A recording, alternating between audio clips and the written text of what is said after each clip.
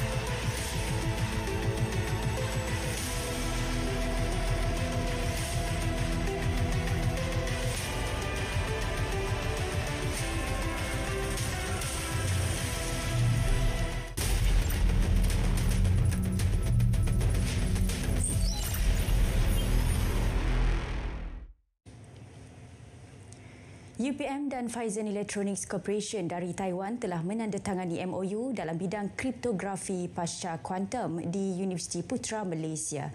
MOU ini bertujuan untuk memajukan teknologi kriptografi pasca kuantum dengan memimpin dalam penyelidikan dan pembangunan algoritma seperti CAS-signed dengan kerjasama yang menampilkan syarikat peneraja utama pasaran dalam bidang teknologi controllers dan aplikasi NAND flash ianya mampu meletakkan Malaysia sebagai hub penyelidikan dan inovasi dalam bidang ini ke pasaran global.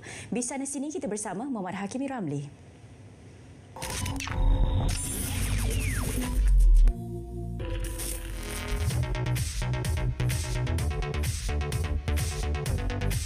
Universiti Putra Malaysia UPM dan Phison Electronics Corporation Phison Taiwan telah memeterai perjanjian persefahaman MOU dalam bidang kriptografi pasca kuantum di Dewan Taklimat Serdang Bangunan Chancellery Putra Universiti Putra Malaysia.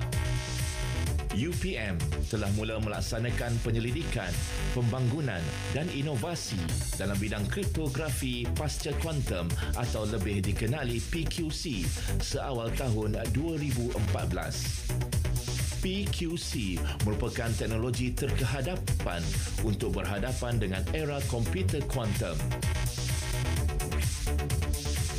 Satu kerjasama di mana kita membangunkan uh, kita punya Uh, teknologi uh, kriptografi iaitu encryption untuk untuk data storage yang lebih secure lah. Uh, ini merupakan encryption post quantum uh, computers uh, untuk kita menjamin pada masa akan datang data-data storage kita adalah data-data yang dapat disimpan dengan lebih selamat dan pembangunan ini merupakan teknologi yang dibina di dalam negara lah dengan uh, bersandarkan kepada penyelidik-penyelidik kita di UPM dan kita berterima kasih dengan pihak Phison Electronics kerana telah mempercayai bahawa teknologi yang kita ada ini dapat bekerjasama dengan pihak Phison yang merupakan uh, uh, leading teknologi dalam uh, pembuatan uh, microchip controller. Phison telah ditubuhkan pada tahun 2000 oleh seorang rakyat Malaysia hebat yang telah mencipta pemacu USB iaitu Datuk Puah Ken Seng yang juga merupakan pengasas bersama Phison dan telah menghasilkan IC pemacu kilat USB chip tunggal pertama di dunia. Phison telah memasarkan lebih 600 juta controllers ke seluruh dunia setiap tahun dan melebihi 2.2 bilion dolar iaitu lebih kurang 10 bilion ringgit dalam hasil jualan tahun 2021. Phison uh, Electronics also uh, committed to inject 100 million ringgit uh, to uh, make a start in the uh, Selangor Puchong uh, mass storage. Uh, we also uh, like to work with the UPM uh, to recruit more uh, graduate or undergraduate students. And we also uh, committed to uh, transfer over 2 billion ringgit of technology to uh, here to uh, training the student here to be the uh, worldwide expert in the storage. And one thing I also like to highlight, uh, we also commit to our Malaysia government, our undergraduate after training, the basic salary will start from the 6,000 ringgit, and uh, graduate will be start from uh, 8,000. So this is to show uh, our uh, value, our commitment to bring the high value industry to here, and at the end improve the income of our Malaysian citizens. Malaysia juga telah melancarkan Pelan Induk Perindustrian Baru 2030 NIMP 2030 sebagai dasar perindustrian bagi sektor perkhidmatan berkaitan pembuatan. Melangkah ke hadapan, UPM dan Phison bersepakat berganding bahu dengan mengupaya kekuatan satu sama lain untuk meletakkan Malaysia sebagai hub penyelidikan, pembangunan, inovasi dan pengkomersilan yang berpotensi dalam bidang controller PQC untuk pasaran global. Untuk tujuan ini, MOU antara UPM dan Phison ini akan menyediakan Malaysia suatu platform untuk memupuk bakat saintifik dan melaksanakan aktiviti mampan dalam pelbagai bidang menuju ke arah era komputer kuantum yang akan datang.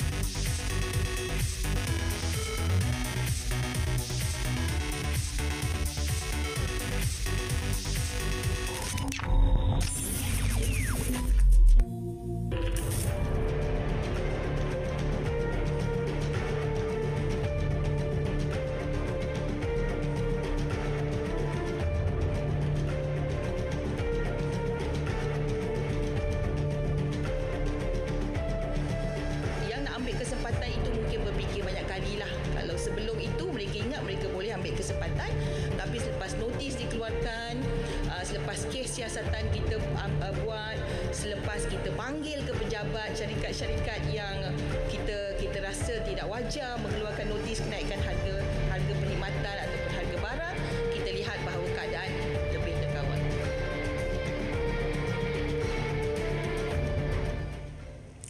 Ya benar Malaysia mengamalkan ekonomi pasaran bebas yang mana penawaran dan permintaan menguasai harga barang ditawarkan. Bagaimanapun kawalan perlu dilakukan untuk tidak memberi peluang pencatutan berlaku.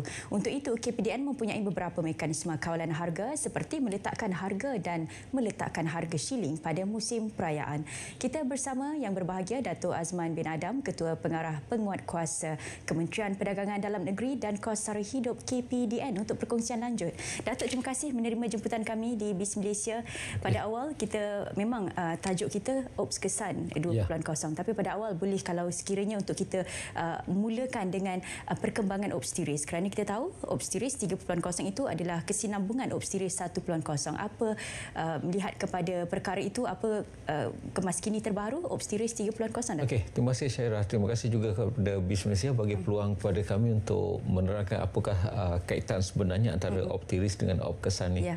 Optiris ni pada mulanya kami laksanakan adalah untuk mencegah uh, penyeludupan dan juga penyelewengan barang kawalan uh, disebut subsidi kita Ya. uh, ke negara jiran dan juga yang turut disalahgunakan dalam industri dan juga sektor-sektor yang tidak berkelayakan dalam negara kita. Ya.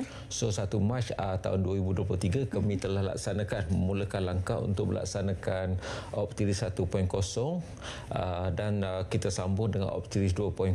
Pada ketika itu kita cuma memfokuskan kepada uh, diesel sahaja. Ya. Dan uh, dalam tempoh uh, 1 Mac sehingga 31 Disember tahun lepas uh, kami telah membuat sitaan terhadap 6.441 juta liter. Okay. Itu satu jumlah yang agak besar dan kita sambung lagi pada tahun ini dengan optiris 3.0 dan mm-hmm. pada tahun ini sehingga petang semalam kami telah membuat sitaan terhadap 5.471 juta liter. Mm-hmm. Jadi kedua-duanya hampir 12 juta liter telah disita oleh uh, KPDN dan juga dengan kerjasama agensi-agensi lain. Yeah. Dan daripada situ uh, kami telah mendapat satu indikator mm-hmm. betapa pentingnya kita mengawal uh, diesel ini supaya tidak terus uh, tiris diselewengkan sebab mm-hmm. dia melibatkan satu perbelanjaan subsidi negara yang sangat tinggi uh-huh. Dan uh, kita perlu buat sesuatu untuk mengatasi masalah ini daripada terus berlaku. Okey, penyasaran subsidi diesel itu dilakukan untuk kita menangani isu ketirisan. Hmm. Dalam masa yang sama, uh, penyeludupan juga kita dapat kenal pasti. Uh, melihat kepada pelaksanaan SKDS 2.0 ini, uh, kalau boleh Datuk terangkan apakah ini membantu menangani masalah ketirisan dan penyeludupan Datuk? Uh, sebenarnya pada peringkat awal kita nak melaksanakan SKDS ni kami di KPDN telah membuat uh, sedikit homework ya. okey apakah yang boleh lagi kami lakukan untuk menambah baik supaya apa yang ada dalam negara ni tidak terus uh, ketirisan uh-huh.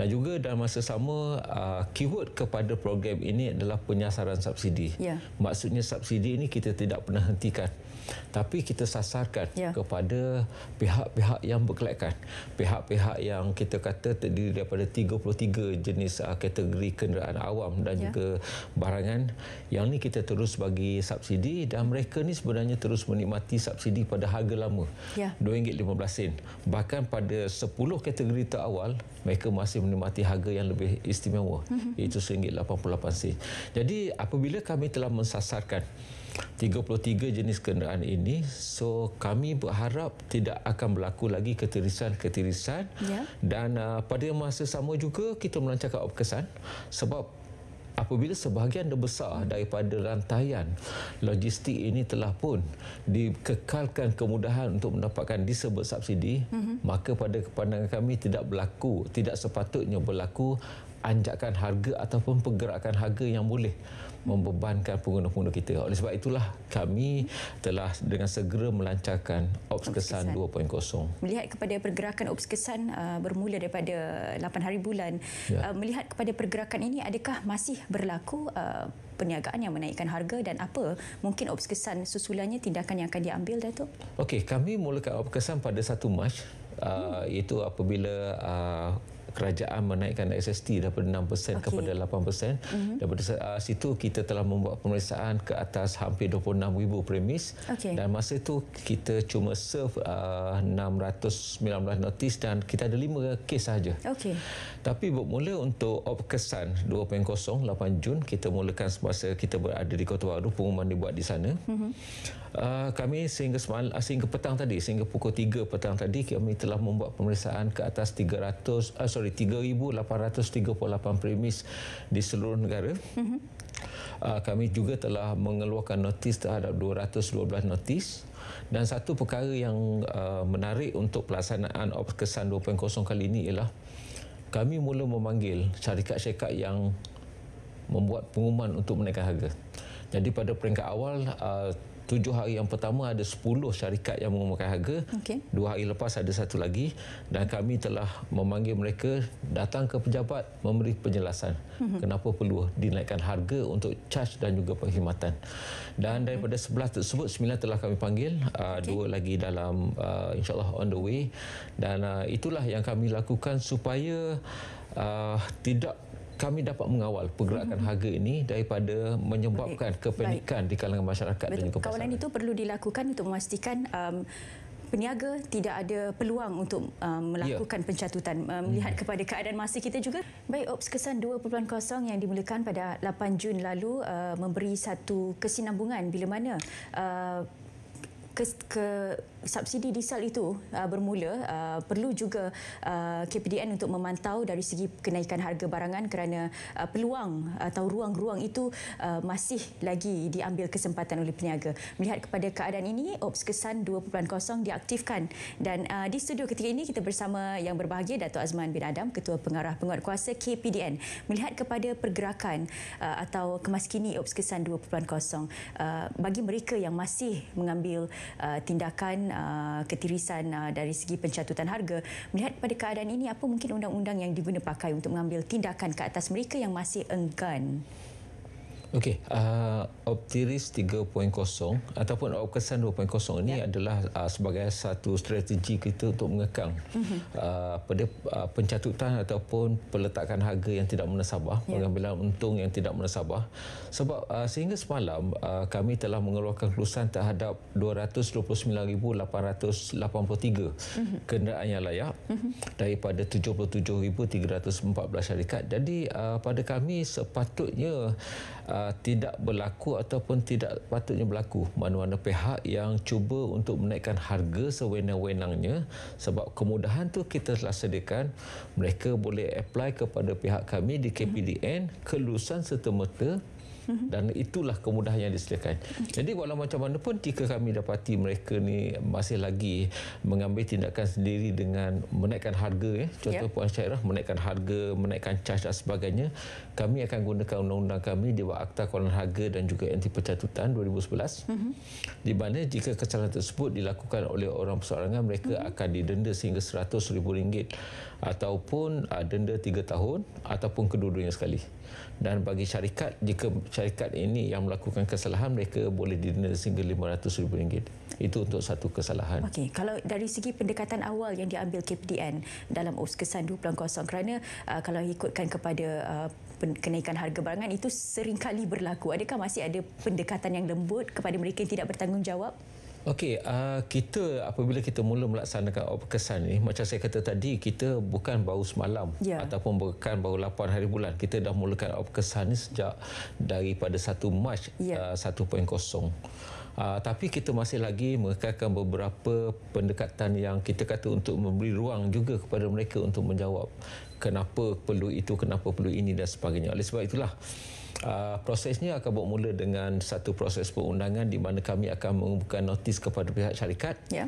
dan uh, pihak syarikat tersebut akan menjawab notis tersebut dengan mengemukakan uh, bukti-bukti kepada pihak kami uh, sekurang-kurangnya dalam masa enam hari uh-huh. untuk kami meneliti dokumen-dokumen tersebut dan selepas itu barulah tindakan perundangan akan diputuskan sama ada berlaku pencatutan dan sebagainya.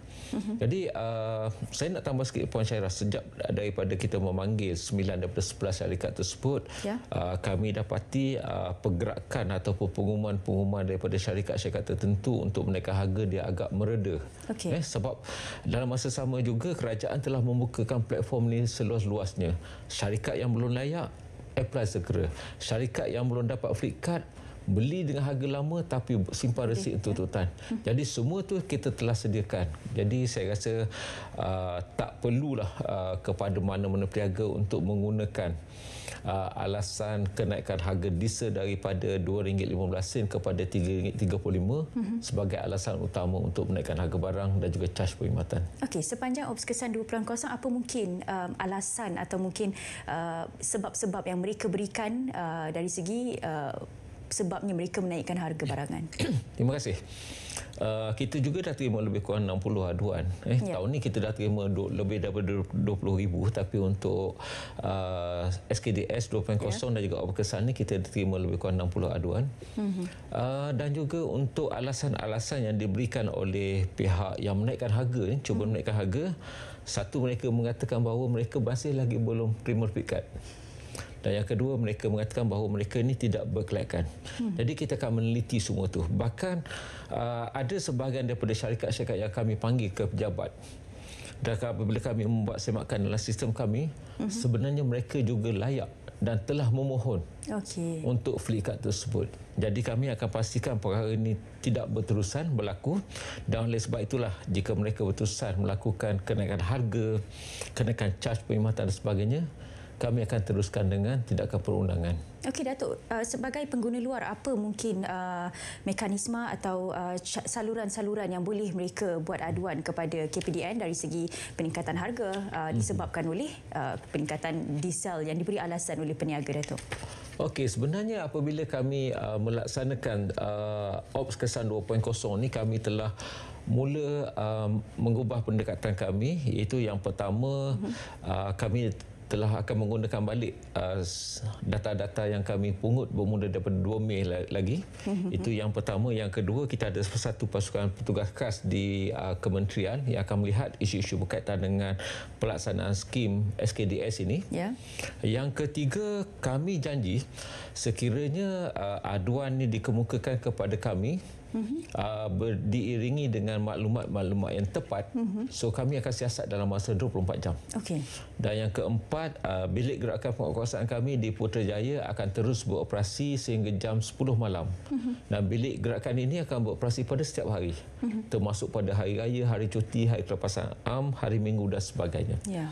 dan yang terakhir khusus untuk Ops Kesan 2.0 kami telah melancarkan satu talian aduan khas 012 6654292 eh. 012 6654292 untuk membolehkan interaksi di antara pihak kami bahagian kuasa KPDN uh-huh. dan juga pengguna-pengguna di sana siapa yang nak menyalurkan aduan dan sebagainya silakan. Jadi talian tersebut beroperasi 24 jam. Okay. jadi gunakanlah ruang-ruang yang ada ni supaya uh, kita dapat sama-sama membantu menjayakan op kesan 2.0 dan juga kita menjayakan program penyasaran subsidi ini supaya apa yang kita impikan mm-hmm. daripada program penyasaran subsidi ini iaitu ruang fiskal yang lebih baik yeah. kepada negara dan sebagainya mm-hmm. dapat kita realisasikan insyaallah. Datuk dari segi uh, melihat kepada ketularan penggunaan media sosial menularkan uh, isu-isu seperti kenaikan harga barang mm. uh, mereka letakkan di media sosial tetapi tidak melakukan secara formalnya aduan kepada mm. KPDN. Uh, adakah tindakan itu juga akan diambil KPDN atau KPDN perlukan butiran dokumen-dokumen uh, berkaitan uh, dari segi peningkatan harga barang kepada nombor-nombor yang telah pun Datuk jelaskan tadi. Macam saya kata tadi, KPDN walaupun dengan bilangan pegawai kuasa kita 2,200 orang, mm-hmm. uh, kita komited dalam tugasan kita untuk memastikan tidak berlakunya pencatutan dan perkara-perkara yang menyusahkan pengguna.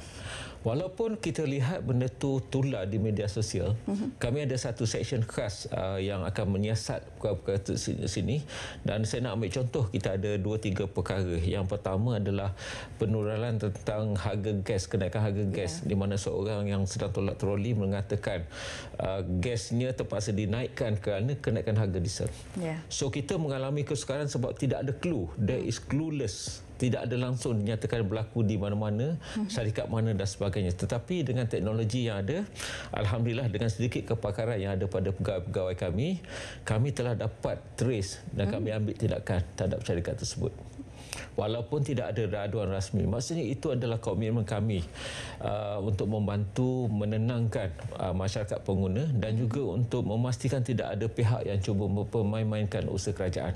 Nah yang kedua yang tular yang kedua ialah berkaitan dengan uh, AIS. Kami cari kami cuba dapatkan dan sehinggalah uh, pada tengah malam tu kami berjaya untuk mendapatkan orang yang menularkan tersebut dan hmm. apabila kami menyoal siasat mereka kata uh, mereka mendapat itu daripada ruang lain dan mereka percaya itu pun diedit jadi walau macam mana pun kami ambil serius dan kami juga cuba jalankan siasatan sebaik mungkin supaya hmm. sekiranya ia betul-betul berlaku kita akan pastikan orang yang menaikkan harga tersebut hmm. dibawa ke muka pengadilan juga Datuk secara ringkas pesanan kepada peniaga dan juga pengguna di luar sana dari segi aduan dan juga tindakan. Okey, saya rasa uh, penyiasan subsidi ini adalah satu program yang besar untuk negara kita. Jadi saya menjuru sama ada kita ni sebagai seorang mm-hmm. pengguna, kita sebagai seorang peniaga, uh, kita beri kerjasama kita yang terbaik untuk menjayakan program ini. Itu yang pertama. Dan yang kedua, kita juga nak pastikan uh, pengguna-pengguna kita terus memberi yeah. sokongan terhadap usaha kerajaan. Mm-hmm. Uh, usaha kami di KPDN juga kalau ada maklumat uh, atau apa-apa info serta aduan selalu terus kepada kami supaya kami dapat ambil tindakan dan uh, kepada mm-hmm. peniaga saya rasa uh, inilah peluang untuk kita sama-sama eh yeah. menjayakan agenda negara kita betul uh, bersegeralah bagi siapa yang belum mendaftar tu bersegera berdaftar mm-hmm. supaya dapat menikmati harga pada yeah. yang sangat istimewa Baik. dan sama-sama kita kata untuk memastikan program ini mencapai matlamat insyaallah Baik untuk itu waktu yang kita ada Datuk, terima kasih kita ucapkan kepada yang berbahagia Datuk Azman bin Adam, Ketua Pengarah Penguat Kuasa Kementerian Perdagangan Dalam Negeri dan Kuasari Hidup KPDN untuk perkongsian yang diberikan. Saudara, untuk itu BIS Malaysia edisi 25 Jun 2024 berakhir di sini. Saya Faiz Syairah Nizam. Assalamualaikum, salam Malaysia Madani.